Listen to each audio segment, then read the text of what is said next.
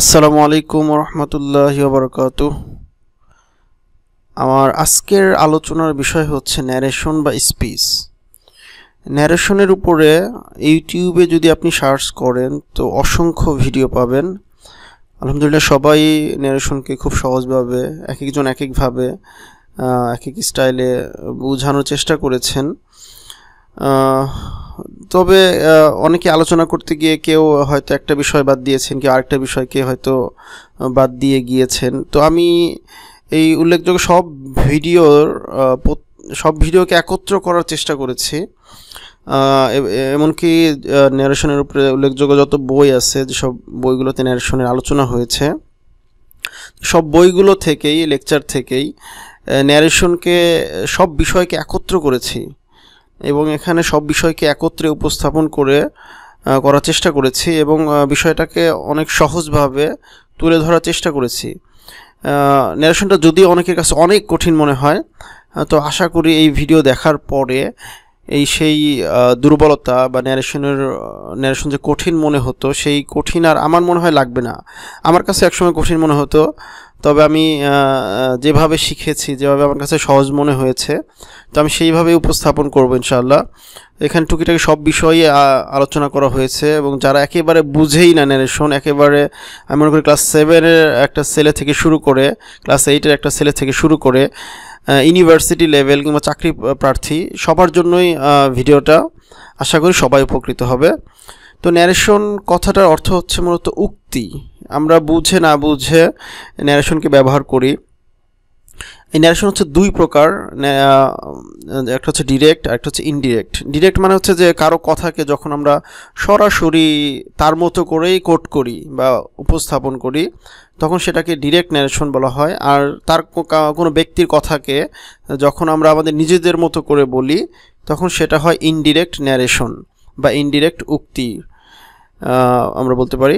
তো ন্যারেশনের ক্ষেত্রে আমাদেরকে প্রথমে পাঁচটি বিষয়কে খেয়াল রাখতে হবে বা পাঁচটি বিষয়কে পরিবর্তন করতে হবে।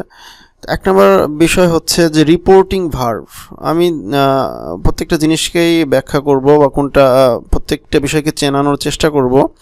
তো আমাদের পাঁচটা বিষয়ের মধ্যে হচ্ছে যে প্রথম হচ্ছে রিপোর্টিং ভার্ভ তো আমাদের রিপোর্টিং ভার্ভকে চিনতে হবে। এরপর কমা তারপর তিন নম্বর হচ্ছে পার্সন চার নম্বর হচ্ছে টেন্স পাঁচ নম্বর হচ্ছে অ্যাডভার্বিয়াল তো এখানে প্রথমে আমি একটা উদাহরণ দিয়েছি বিষয়গুলোকে আমাদের, যাতে আমরা চিনতে পারি। প্রথমত আমাদেরকে এগুলো চিনতে হবে। এখানে আমাদের, আমি ডিরেক্ট ন্যারেশন বা ডিরেক্ট স্পিচের লিখেছি যে হি সেইড টু মি সে আমাকে বলল we are learning narration now আমরা এখন ন্যারেশন শিখতেছি। তো এখানে আমি পাঁচটা বিষয়ের কথা বলেছি। প্রথমে সেইট টু সেইট টু হচ্ছে এখানে আমাদের রিপোর্টিং ভার্ব যেখানে আমি প্রথমে যেটা উল্লেখ করেছিলাম রিপোর্টিং ভার্ব এই সেইট টু হচ্ছে এখানে রিপোর্টিং ভার্ব এরপরে হচ্ছে কমা এখানে দেখিয়ে দেওয়া হয়েছে। কমা বলতে শুধু এই এই কমাটা না ইনভার্টেড কমা সহ পুরো অংশটাই হচ্ছে কমার অন্তর্ভুক্ত। এরপর হচ্ছে পার্সন পার্সন হচ্ছে আমাদের যে রিপোর্টেড স্পিচ আমাদের এই অংশটা হচ্ছে মূলত রিপোর্টেড স্পিচ এই অংশের যে সাবজেক্ট এটাই হচ্ছে আমার পার্সন হিসাবে এখানে চিহ্নিত করা হয়েছে বা দেখানো হয়েছে।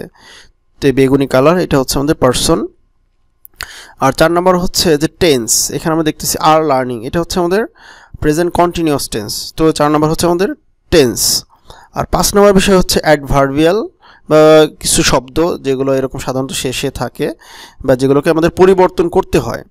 এই পাঁচটা বিষয়কে আমাদের পরিবর্তন করতে হবে। তো প্রথমে এখানে আমরা দেখি ইনডিরেক্ট স্পিচ বা ইনডিরেক্ট ন্যাশনে এগুলো কীভাবে পরিবর্তন হলো।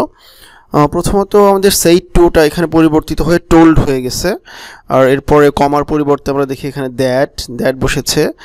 উই পরিবর্তিত হয়ে এখানে দে তে রূপান্তরিত হয়েছে। এরপরে হচ্ছে আর লার্নিং ছিল, এখানে হয়ে গেছে ওয়ার লার্নিং আর পাঁচ নাম্বার যেটা পরিবর্তন হয়েছে নাও যেটা অ্যাডভার্বিয়াল এটা পরিবর্তিত হয়ে, এটা হয়েছে দেন এখন এই আমরা জানি আমরা যে কথাগুলো বলি, এগুলো পাঁচটা সেন্টেন্স বা সেন্টেন্স পাঁচ প্রকার। এই কোনো না কোনো সেন্টেন্সের অন্তর্ভুক্তই প্রত্যেকটা কথা। তাই এই পাঁচটা সেন্টেন্সের ক্ষেত্রেই আমাদের এই ন্যারেশন চেঞ্জ করতে হয়। তো এগুলোর জন্য প্রত্যেকটা সেন্টেন্সের জন্য আলাদা আলাদা কিছু রুলস আছে। তো প্রথমে হচ্ছে আমাদের অ্যাসার্টিভ সেন্টেন্স অ্যাসার্টিভ সেন্টেন্সের ক্ষেত্রে আমাদের যে পরিবর্তনগুলো করতে হবে, আমাদের যে পাঁচটা বিষয় আছে, এর মধ্যে প্রথমে হচ্ছে আমাদের রিপোর্টিং ভার্বের পরিবর্তন, আমরা অ্যাসার্টিভ সেন্টেন্সে কীভাবে করব? যদি সেইড থাকে রিপোর্টিং ভার্বে তখন এটা সেইডই থাকবে, আর যদি সেইড টু থাকে, সেটা টোল্ডে পরিবর্তন হবে। দুই নম্বর পরিবর্তন হচ্ছে আমাদের কমার পরিবর্তন কমার পরিবর্তে দ্যাট বসবে। তিন নম্বর হচ্ছে পার্সনের পরিবর্তন পার্সন আমরা কীভাবে পরিবর্তন করব? ফার্স্ট পার্সন যদি থাকে সেটা সাবজেক্ট অনুসারে পরিবর্তন হবে। এখন কোন সাবজেক্ট এগুলো আসলে আমরা যদি সামনে আরও উদাহরণ প্র্যাকটিস করব সেখানে বিষয়গুলো কিন্তু আরও অনেক ক্লিয়ার হয়ে যাবে। তো এখানে এরপর সেকেন্ড পার্সন আমাদের অবজেক্ট অনুসারে চেঞ্জ হবে। আর যদি থার্ড পার্সন থাকে, তো তাহলে কোনো পরিবর্তন হবে না। এখানে একটা নোট উল্লেখযোগ্য একটা বিষয় হচ্ছে যে ফার্স্ট পার্সন উই দ্বারা যদি মানব জাতিকে বোঝানো হয় কিংবা নিজেও অন্তর্ভুক্ত থাকা বোঝানো হয়, তাহলে উইয়ের কোনো পরিবর্তন হবে না।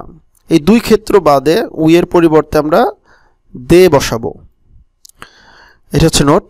এরপর হচ্ছে টেন্সকে আমরা কীভাবে পরিবর্তন করব? টেন্সের পরিবর্তন হচ্ছে যে আমাদের যদি প্রেজেন্ট ইনডিফিনিট টেন্স থাকে, সেটা পাস্ট ইনডিফিনিটে পরিণত হবে। প্রেজেন্ট কন্টিনিউয়াস হয়ে যাবে পাস্ট কন্টিনিউয়াস প্রেজেন্ট পারফেক্ট হয়ে যাবে past perfect present perfect continuous হয়ে যাবে পাস্ট পারফেক্ট কন্টিনিউয়াস আর পাস্ট ইনডিফিনিট হয়ে যাবে পাস্ট পারফেক্ট পাস্ট কন্টিনিউয়াস থাকলে হয়ে যাবে পাস্ট পারফেক্ট কন্টিনিউয়াস আর পাস্ট পারফেক্ট থাকলে পাস্ট পারফেক্টই থাকবে এবং পাস্ট পারফেক্ট কন্টিনিউয়াস থাকলে সেটা হয়ে যাবে পাস্ট পারফেক্ট কন্টিনিউয়াস অর্থাৎ কোনো পরিবর্তন হবে না। এটাকে আমরা শর্টকাটে যদি বলি, তাহলে আমরা মূলত দেখতে পাচ্ছি যে যে প্রেজেন্ট টেন্স থাকবে সেটা সেই অনুরূপ পাস্ট টেন্সে পরিবর্তিত হবে। আর যদি এ পাশে কোনো পাস্ট টেন্স থাকে, অর্থাৎ ডিরেক্ট স্পিচে বা ডিরেক্ট ন্যারেশনে যদি পাস্ট টেন্স থাকে, তবে সেটা পাস্ট পারফেক্টে পরিবর্তিত হবে। আর অ্যামিজার যেগুলো আমরা অ্যামিজার যদি থাকে, তাহলে সেটা ওয়াজ ওয়ারে পরিণত হবে। আর ওয়াজ ওয়ার থাকলে সেটা হ্যাড বিন হ্যাভ হ্যাজ থাকলে সেটা হ্যাডে এবং হ্যাড থাকলে সেটা হ্যাডে হ্যাডি হবে। ডু ডাজ থাকলে সেটা ডিড এবং ডিড থাকলে হ্যাড ডানে পরিবর্তিত হবে। তো এটা আরও শর্টকাটে আসলে আলোচনা করা যায় বিষয়গুলো। আমি চাচ্ছি যাতে সবাই ক্লিয়ারলি বুঝতে পারে। এরপরে যদি বুঝতে না পারেন, অবশ্যই কমেন্ট করে জানাবেন। এরপর হচ্ছে মোডালগুলো আছে। মোডাল অক্সিলারি ভার্বগুলো আমরা কীভাবে পরিবর্তন করব? সেক্ষেত্রে শ্যাল থাকলে আমাদের শুড হয়ে যাবে উইল থাকলে উড ক্যান থাকলে কুড মে থাকলে মাইট মাস্ট থাকলে সেটা হ্যাড টুতে পরিবর্তন হবে কিংবা মাস্ট মাস্টই থাকবে, অর্থাৎ কোনো পরিবর্তন হবে না। তো এই ক্ষেত্রে আমাদের কিছু ব্যতিক্রম বিষয় হচ্ছে যে যে ক্ষেত্রে আমি কয়েকটি নোট দিয়েছি। এক নম্বর নোট হচ্ছে রিপোর্টিং ভার্বটা আমরা এর আগে দেখেছি সেইড বা সেইড টু যদি সেটা সেটা পাস্ট টেন্স কিন্তু যদি প্রেজেন্ট কিংবা ফিউচারে থাকে, থাকল হি সেইস কিংবা হি উইল সে সেক্ষেত্রে কী হবে? সেক্ষেত্রে আমাদের টেন্স এবং অ্যাডভার্বিয়ালের কোনো পরিবর্তন হবে না। অর্থাৎ বাকিগুলো পরিবর্তন হলেও আমাদের রিপোর্টিং ভার্বটা যদি প্রেজেন্ট কিংবা ফিউচারে থাকে, তাহলে টেন্স এবং অ্যাডভার্বিয়ালের কোনো পরিবর্তন আমরা করব না। দুই নম্বর নোট হচ্ছে রিপোর্টেড স্পিচ রিপোর্টেড স্পিচ যদি ইউনিভার্সাল ট্রুথ হয়, যেমন the sun sets in the west the sun rises in the east the earth is round the earth moves round the sun এগুলো হচ্ছে ইউনিভার্সাল ট্রুথ এরকম কোনো বিষয় কিংবা হ্যাবিচুয়াল ফ্যাক্ট অর্থাৎ অভ্যাসগত কাজ, যেটা আমরা নিয়মিত করি হ্যাবিচুয়াল ফ্যাক্ট যদি থাকে তাহলে সেক্ষেত্রে রিপোর্টেড স্পিচের টেন্স এবং অ্যাডভার্বিয়ালের কোনো পরিবর্তন হবে না। অর্থাৎ এক্ষেত্রেও টেন্স এবং অ্যাডভার্বিয়াল অপরিবর্তিত থাকবে। কারণ আমরা জানি ইউনিভার্সাল ট্রুথের কোনো পরিবর্তন হয় না। ঠিক আছে এরপর নোট নাম্বার থ্রি হচ্ছে মাস্ট দ্বারা যদি অবশ্যই করণীয় কিছু বুঝায় কিংবা বাধ্যবাধকতা বুঝায়, তবে মাস্টেরও কোনো পরিবর্তন হবে না। তখন মাস্ট মাস্টই থাকবে। আর অন্য ক্ষেত্রে মাস্টের পরিবর্তে হ্যাড টু হবে। এরপর অ্যাডভার্ভিয়ালগুলো আমরা কীভাবে পরিবর্তন করব? আমাদের এইখানে যে শখ দেওয়া আছে যে নাও থাকলে সেটা দেনে পরিণত হবে দিস থাকলে দ্যাট দেশ থাকলে দোষ এইভাবে প্রত্যেকটা পরিবর্তিত হবে। লাস্ট মান্থ থাকলে দ্য প্রিভিয়াস মান্থ এবার কাম থাকলে গো দাস থাকলে সো কিংবা ইন দ্যাট ওয়েও দুইটা যে কোনো একটা ব্যবহার করা যায়। আর হিদার হিদার অর্থ হচ্ছে এখানে বা এদিকে, আর থিদার সেখানে বা সেদিকে হয়ে যাবে। অ্যাগো থাকলে বিফোর টু নাইট থাকলে দ্যাট নাইট ইয়ের থাকলে দেনে পরিবর্তিত হবে। এগুলো হচ্ছে আমাদের অ্যাডভার্বিয়ালের চেঞ্জ তাহলে এই পাঁচটা বিষয়, আমরা যদি অ্যাসার্টিভ সেন্টেন্সের এই বিষয়গুলোয় ভালোভাবে আয়ত্ত করতে পারি, এই জিনিসগুলো কিন্তু আমাদের বারবার আসবে। ইন্টারোগেটিভ বা ইম্পারেটিভ অপারেটিভ এক্সপ্লেমেন্টরি ওই সেন্টেন্সগুলো কিন্তু তখন আমাদের অনেক সহজ হয়ে যাবে যদি আমরা অ্যাসার্টিভটা ভালো করে আয়ত্ত করতে পারি। অর্থাৎ পাঁচটা বিষয় যদি আমরা ভালো করে বুঝতে পারি, ভালো করে আয়ত্ত করতে পারি। এখন আমরা কিছু এক্সারসাইজ প্র্যাকটিস করব বা কিছু এক্সাম্পল দেখব যে কীভাবে এই পরিবর্তনগুলো হয়। ঠিক আছে? তো এক নম্বর হচ্ছে, Nusaiba said to me I you and Abdullah will do the work tomorrow তো এখানে আমরা এক নম্বর যে পরিবর্তন সেইট টু সেইট টু হচ্ছে আমাদের রিপোর্টিং ভার্ভ তো সেইট টু আমরা কি পরিবর্তন হবে, কি, কিসে পরিণত হবে, আমরা জানি টোল্ড তো এখানে টোল্ড হয়ে গেছে। এরপরে দুই নম্বর হচ্ছে কমা কমার পরিবর্তে আমরা কী ব্যবহৃত করব, ব্যবহার করব? কমার পরিবর্তে আমরা দ্যাট ব্যবহার করব। এখানে দ্যাটে পরিণত হয়ে গেছে কমা এরপরে আমরা জানি আই আই হচ্ছে আমাদের ফার্স্ট পারসন এখানে পার্সন আমাদের কীভাবে পরিবর্তন হবে? ফার্স্ট পার্সন থাকলে সাবজেক্ট অনুসারে, অর্থাৎ সাবজেক্ট হচ্ছে আমাদের এই রিপোর্টেড রিপোর্টিং ভার্ভের সাবজেক্ট সাবজেক্ট বলতে আমরা কি বুঝব? রিপোর্টিং ভার্ভের সাবজেক্ট অবজেক্ট বলতে আমরা বুঝব রিপোর্টিং ভার্ভের অবজেক্ট অর্থাৎ এখানে সাবজেক্ট হচ্ছে নুসাইবা। তো নুসাইবা পরিবর্তে আমরা এখানে কি বসিয়েছি? সি এরপরে হচ্ছে আমাদের সেকেন্ড পার্সন ইউ। ইউ কাকে ফলো করবে?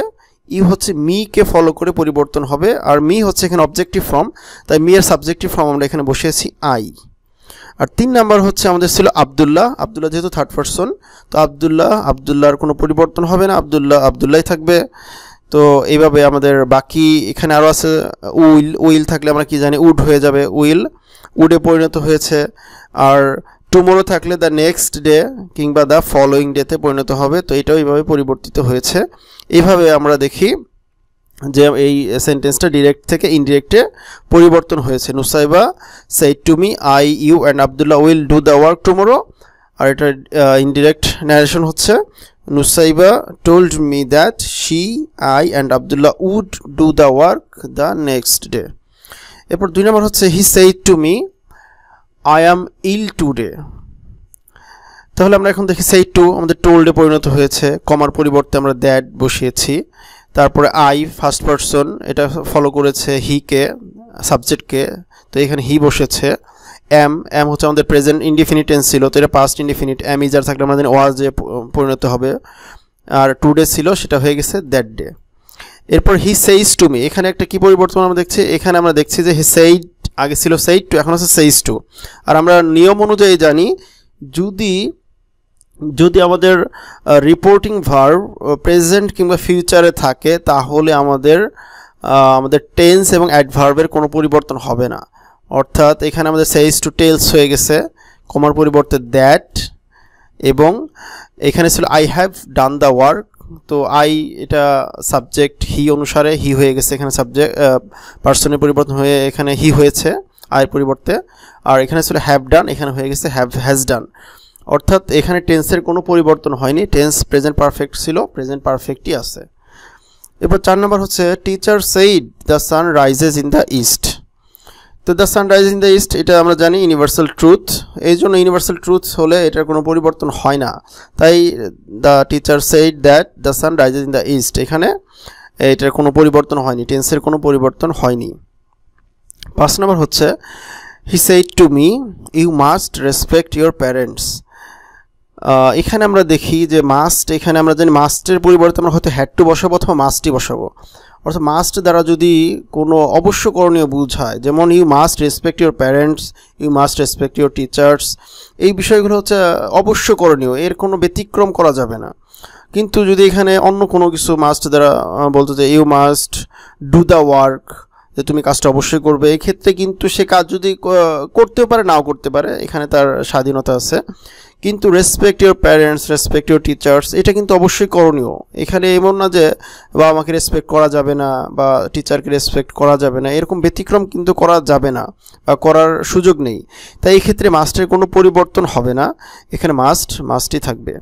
তাই এখানে আমাদের পরিবর্তন, আমাদের ডিরেক্ট স্পিচে আছে he said to me must respect your parents এখানে ইনডিরেক্ট স্পিচে আমাদের হয়েছে কি? He said he said me that I Yuta আমাদের ফলো করেছে অবজেক্টকে মিকে এখানে এই জন্য হয়ে গেছে আই তো আই মাস্ট রেসপেক্ট আর এখানে ছিল ইয়োর তো এটা ইয়োরটা কী হয়ে গেছে? এখানে যেহেতু আমি, আমার কথা বলতেছি, তাই I must respect my parents এখানে মাই হবে। এখন আমরা দেখব এইগুলোর বাইরেও আরও কিছু ব্যতিক্রম বিষয় আছে সামান্য ব্যতিক্রম। তো এই ব্যতিক্রম বিষয়গুলো নিয়ে এখন একটু কথা বলব। যেমন হি ইজ এ গুড বয় এটা হচ্ছে যদি ডিরেক্ট স্পিচ বা ডিরেক্ট ন্যারেশন আমাদের থাকে হি ইজ এ গুড বয় তো এখানে আমাদের কে বলছে, কাকে বলছে, কিছুই বোঝা যাচ্ছে না। তো এই ক্ষেত্রে আমাদেরকে স্পিকার অর্থাৎ কে বলছে, এটা যেহেতু আমরা জানি না, তো আমরা এই জন্য স্পিকার কথাটা লিখব বা স্পিকার কথাটা ব্যবহার করব। The speaker says that he is a good boy তো এখানে he is a good boy আমরা জানি প্রেজেন্ট ইনডিফিনিট থাকলে পাস্ট ইনডিফিনিট হয়। করলে আমরা এখানে পাস্ট ইনডিফিনিটও করতে পারি। তখন আমাদের এখানে সেইজ ব্যবহার করা যাবে তখন আমাদের এখানে সেইড ব্যবহার করতে হবে। তখন এটা হবে যে হি ওয়াজ এ গুড বয় তেমনি একইভাবে আই উইল গো দেয়ার এখানে আমাদের স্পিকারকে উল্লেখ করা নাই তার আমরা লিখব the speaker said that he would go there যেহেতু আমরা সেইড ব্যবহার করেছি, তাই এখানে আমাদের উইল উডে পরিবর্তন হয়ে গেছে। অথবা আমরা এইভাবেই পরিবর্তন করতে পারি, যদি আমরা এটাকে প্রেজেন্ট ইনডিফিনিট টেন্সে রাখি স্পিকার সেইস তখন কিন্তু আমাদের টেন্সের পরিবর্তন হবে না হি উইল গো দেয়ার হবে। আশা করি বুঝতে পেরেছেন। এরপরে তিন নম্বর হচ্ছে I said to Rana you should suffer আমরা নিয়মে দেখে এসেছি শ্যাল থাকলে শুড হয়। কিন্তু যদি আমাদের রিপোর্টের স্পিসেই শুড উল্লেখ করা থাকে, তখন কি হবে? তখন কিন্তু সেই শুডের কোনো পরিবর্তনই হবে না। এখানে সেইড টু টোল্ড হয়ে গেছে কমার পরিবর্তে দ্যাট কিন্তু শুড যেহেতু এখানে আগেই উল্লেখ করা আছে শুডের কোনো পরিবর্তন হবে না। শুধু শুড না, এক্ষেত্রে আরও কিছু শব্দ বা শব্দ আছে যেগুলো আমাদের কোনো পরিবর্তন করা যাবে না বা পরিবর্তন করতে হবে না। যেমন use to use to ought to might should would could এগুলো যদি রিপোর্টেড স্পিসে থাকে, এগুলোর কোনো পরিবর্তন হবে না। যা আছে তাই থাকবে। এরপর আরেকটা দেখি আমরা, চার নম্বর হচ্ছে, Nabiha said I wish I sang a song তো এখানে আমরা আমরা জানি এখানে কি আছে? স্যাং। স্যাংটা হচ্ছে আমাদের পাস্ট ইনডিফিনিট টেন্স তো এখানে আই স্যাং এর সঙ্গে, এই কথাটা কিন্তু পাস্ট ইনডিফিনিট টেন্স তো আমরা জানি পাস্ট ইনডিফিনিট থাকলে সেটা পরিবর্তিত হয়ে পাস্ট পারফেক্ট হয়ে যাওয়ার কথা। কিন্তু যেহেতু এখানে উইশ আছে এইটাই হচ্ছে, এটার ব্যতিক্রম বা এর এটা এক্সেপশনাল হওয়ার কারণ। যেখানে উইশ থাকার কারণে এই পরবর্তী টেন্সের কোনো পরিবর্তন হবে না। অর্থাৎ পরবর্তী ভার্বের কোনো পরিবর্তন হবে না। না, কিন্তু আমাদের এখানে আমরা জানি এই যে আই উইশ আই উইশটা আমাদের প্রেজেন্ট ইনডিফিনিট টেন্সে আছে আই উইশ এইটা হয়ে যাবে পাস্ট ইনডিফিনিট অর্থাৎ উইশড হয়ে যাবে। কিন্তু এই উইশের পরবর্তী ভার্বের কোনো পরিবর্তন হবে না, অর্থাৎ স্যাংয়ের কোনো পরিবর্তন হয়নি। আমরা দেখি Nabiha said that she wished she sang a song এরকম শুধু উইশ না, উইশ কিংবা would would rather it is time had better এগুলো যদি থাকে, তাহলে এগুলোর পরবর্তী ভার্ভের কোনো পরিবর্তন হবে না। এগুলোর উপরে আরও আরও একটা উদাহরণ দেখি আমরা। Abir said it is time we changed our habit আমরা জানি it is time it is high time এগুলোর পরে ভার্বের সবসময় পাস্ট ফর্ম হয়। সবসময় পাস্ট ফর্ম ব্যবহার করতে হয়, এটা রাইট ফর্ম ভার্বসের রুল তো Abir said it is time we changed our habit তো আবির সেইড দ্যাট ইট ওয়াজ আমাদের এই ইট ইজটা যেহেতু আমাদের এখানে সেইড আছে পাস্ট ইনডিফিনিট পাস্ট পাস্ট টেন্সে আছে, তো এইটা আমাদের পরিবর্তন হবে। ইট ইজ টাইমটা হয়ে যাবে ইট ওয়াজ টাইম কিন্তু ইট ইজ টাইমের পরবর্তী অংশ চেঞ্জড এইটার কোনো পরিবর্তন হবে না।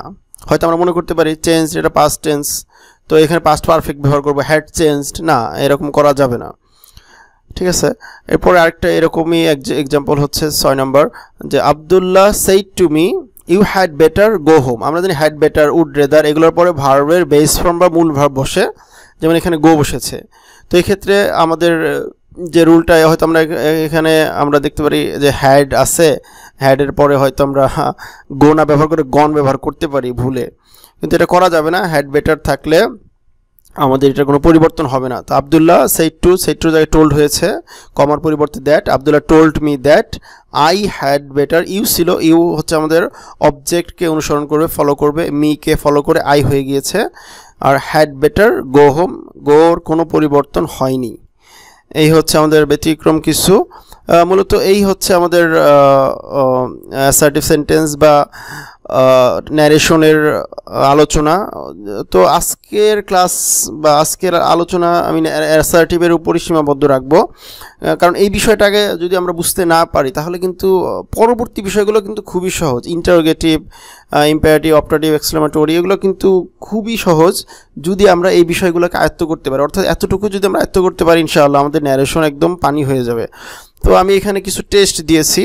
যারা ভিডিওটি দেখতেছেন, অবশ্যই অবশ্যই এটা নিজে প্রথমে তো যদি বুঝতে না পারেন প্রয়োজনে ভিডিওটা আবার দেখবেন প্রয়োজনে নোট করবে নোট করার পরে এটাকে বোঝার চেষ্টা করবেন, তারপরে একা একা চেষ্টা করেন যে এই যে, এই এখানে দশটা কোশ্চেন দিয়েছি আমি, যে যেগুলো পারেন কি না যদি পারেন, মনে করবেন যে আপনি, আপনার ন্যারেশনের অর্ধেক বা সিক্সটি সেভেন্টি পার্সেন্ট শেষ। তো বাকি ক্লাস বা বাকি অংশ বা এরপর interrogative imperative assertive sorry optative এক্সক্লামেটরির উপরেও আমি ক্লাস নিব আলোচনা করব ইনশাআল্লাহ। এরপর প্যাসেজ ন্যারেশনের উপরেও আলোচনা করা হবে ইনশাআল্লাহ। তো তাহলে দেখেন যে এই টেস্টগুলো আসলে এখন পারেন কিনা। যদি পারেন, তো আলহামদুলিল্লাহ আপনার ন্যারেশন আয়ত্তে এসে গেছে। যেমন এখানে দেখা যাচ্ছে he said the is round Hasan said to me I can do it now কিছু কিছু কিন্তু একটু এদিক সেদিক আছে, একটু প্যাচ লাগানো আছে, একটু একটু চিন্তা করলে পারবেন আশা করি, একটু ক্লেভার হলেই পারবেন, যে কোথায় একটু এদিক সেদিক করেছি। যেমন আই হ্যাড এ বুক তো দেখে একটু ই মনে হতে পারে, কিন্তু আসলে কিন্তু খুবই সহজ। নিয়ম জাস্ট নিয়ম ফলো করেন নিয়ম ফলো করলেই হয়ে যাবে। এভাবে he says to me we are free now Karim say to me I was wrong mother সে আমার, আমি কিন্তু অ্যান্সারও দিয়ে দিয়েছি তো আগেই হুট করে অ্যান্সার দেখে এটা সলভ করে মানে মানে সলভ না করে অ্যান্সার দেখবেন না, নিজে নিজে আগে চেষ্টা করেন, দেখেন কয়টা পারেন। ঠিক আছে, তারপরে অ্যান্সার দেখবেন। ঠিক আছে ইনশাল্লাহ তো অ্যান্সার এখানে দিয়ে দিয়েছি, যারা সলভ করেছেন, আগে নিজে একা একা, তারপরে অ্যান্সার মিলিয়ে দেখুন অ্যান্সার হয়েছে কি না তো অবশ্যই কমেন্ট করে জানাবেন কার কয়টা হলো। ঠিক আছে ইনশাল্লাহ অ্যান্সারগুলো এখানে দেওয়া আছে প্রত্যেকটাই। মিলিয়ে নেবেন কার কয়টা হলো। আর সবশেষে সবাইকে অনুরোধ করব চ্যানেলটি সাবস্ক্রাইব করবেন এবং লাইক, কমেন্ট করবেন। আর বেল আইকনে অবশ্যই একটা ক্লিক করবেন যাতে আমার পরবর্তী ভিডিও সাথে সাথেই পান।